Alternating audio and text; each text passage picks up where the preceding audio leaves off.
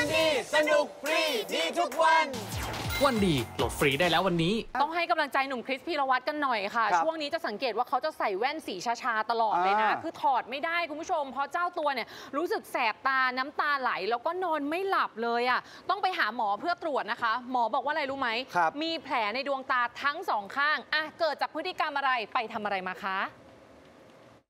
ผมชอบเล่น iPad แล้วก็ปิดไฟห้องมืดอะไรเงี้ยครับแล้วก็เล่น ROV หนักมาก ใช่ครับ แล้วคุณหมอบอกว่าเวลาที่เรามีสมาธิอยู่กับจอ เราจะลืมกระพริบตา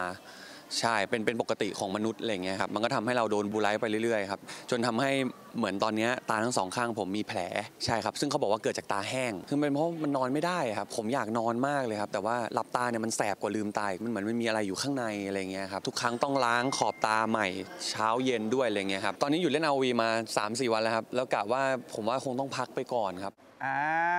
หนุ่มคริสพีรวัสรู้อย่างนี้แล้วก็ต้องดูแลสุขภาพตัวเองนะครับและที่สำคัญ Happy Birthday ย้อนหลังด้วยละกันเพราะว่าเพิ่งผ่านวันเกิดมานะฮะ 18 ตุลาคมค่ะ นะมีความสุขมาก ๆ นะคริสได้แล้วค่ะ